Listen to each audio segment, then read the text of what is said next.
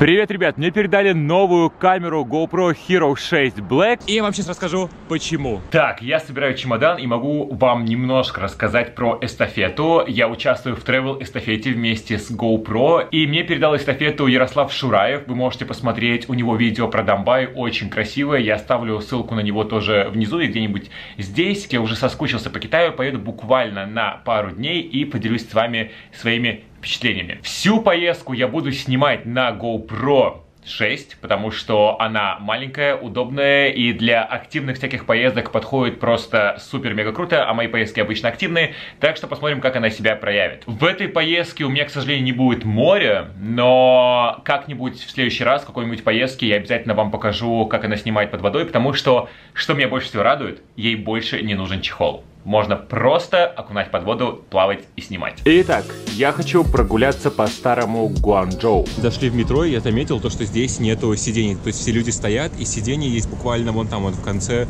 э, вагона. Так прикольно, и он весь такой синий, разрисованный, но кажется, это реклама, кстати, алкоголя. Вышли из метро с Вадимом. Вадим, привет! Кстати, ребят, мне очень нравится этот исторический район в Гуанчжоу. Посмотрите на архитектуру, я вам показывал еще до этого, но она просто шикарная. Сделано все в таком немножко европейском стиле и похоже здесь на Вьетнам.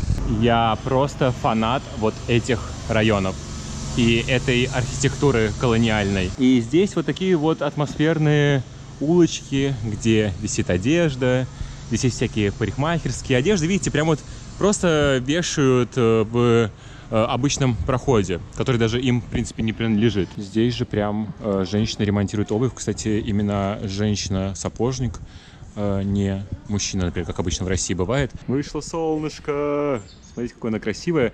И я дошел до самого-самого-самого-самого любимого здесь Гуанчжоу района. Здесь такие вот кирпичные красивые коттеджи, наверное, даже их можно назвать, но все это в таком китайском стиле и очень много растений. В этот раз я вот только что говорил Вадиму, что я кайфую в Гуанчжоу от растений, потому что я в последнее время просто обожаю растения и хочу себе домой. Вадим, что ты делаешь?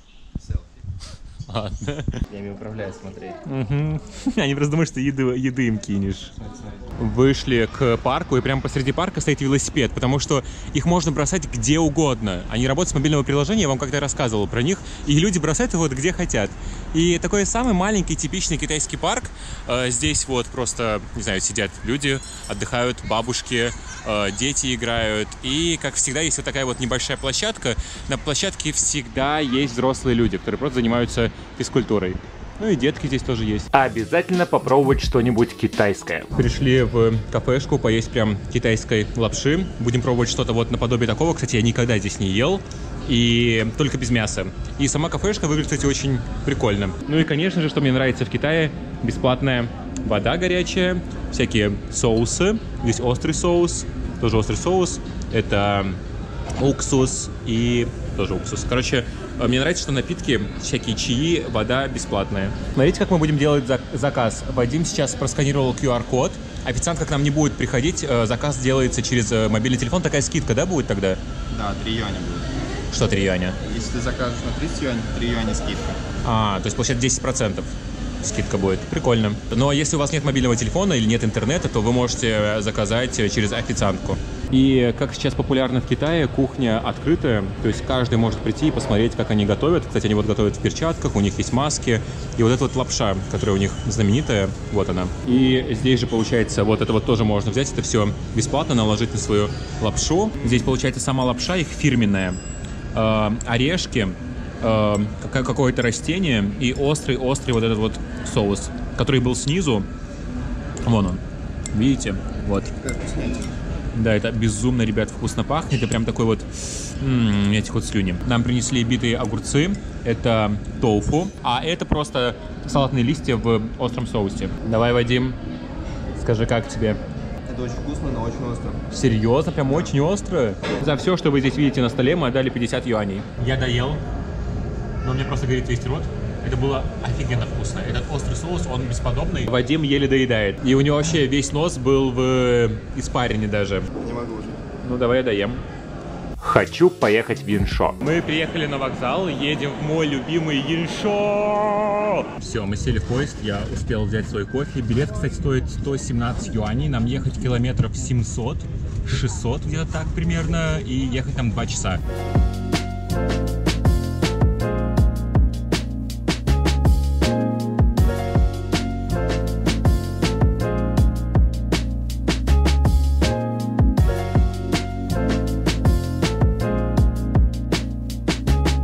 Прибыли в Виншо и попали сразу же на вот такой местный рынок, где местные крестьяне продают свою же продукцию.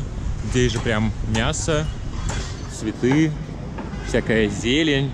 И сейчас сезон помелы, э, вон королек хурма, не знаю, что это именно точно продается, и апельсины. Все очень дешево, кстати. Хочу покататься на велике и на байке.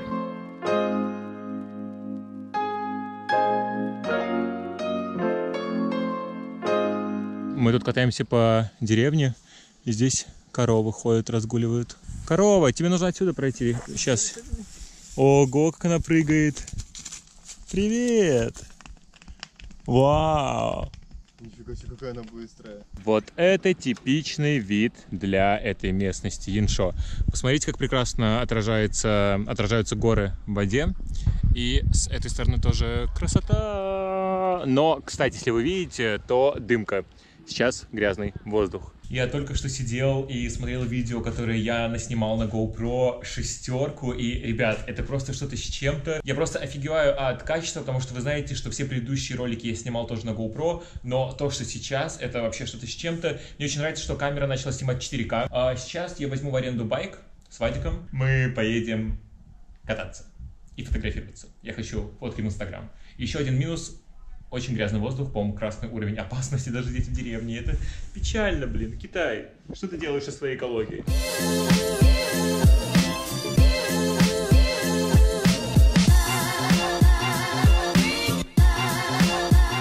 Остановились просто среди гор в какой-то деревне, где выращивают хлопок. Классно. И вот так вот он растет. И именно из этого нам шьют одежду. А вот это вот маленькие мандаринки. Мы заблудились. Мы в какой-то вообще непонятной маленькой деревне, где нет людей, и мы не знаем, куда дальше ехать. Но смотрите, я вам хочу показать как раз от помела. Она просто огроменная, и вон там, вон там, вон там везде растут помелы повсюду. Даже в Виншо мы умудрились заблудиться, и теперь вот едем по такой дороге. Вадим пошел пешком, я буду спускаться, и мы просто в каком-то лесу. Ура! Мы нашли здесь такую дамбу небольшую и воды нет, поэтому мы смогли перебраться на нашу сторону. Такая красота. Кстати, в тот раз мы, по-моему, если не ошибаюсь, с ребятами здесь купались в Яншо. Здесь прям такая чистая вода и прекрасный вид открывается на горы. С этой стороны тоже красивый вид, просто солнышко светит. Мы заехали в еще одну деревню, небо стало более, кстати, таким голубым. И я хотел сказать то, что китайцы выращивают все везде. Каждый клочок земли у них просто задействован.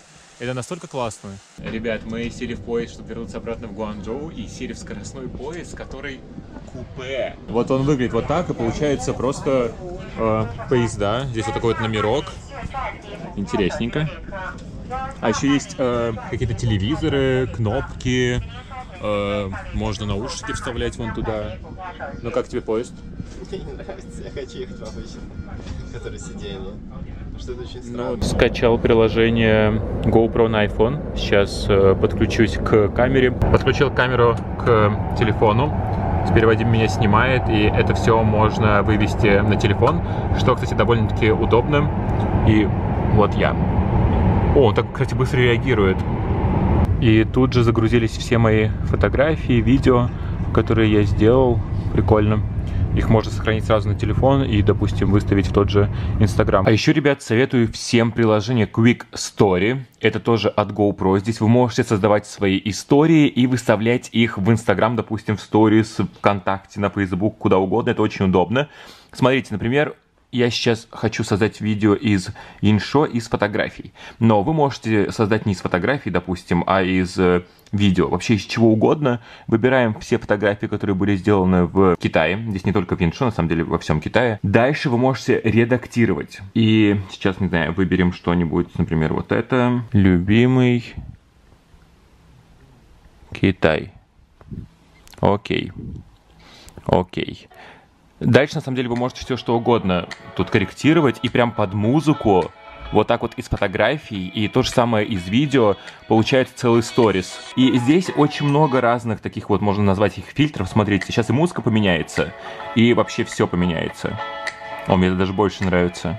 И очень классно точно такие же делать с видео. И очень удобно прям с GoPro кидать фотографии сразу на телефон, через Wi-Fi передавать и создавать вот такие вот видюшки прям на улице. Все, ребят, я уже в Москве, и здесь просто адски, адски холодно после Гуанчжоу, но я дальше передаю travel марафон от GoPro и саму GoPro Hero 6 Black Паше. Так что смотрите его видео у него в инстаграм канале.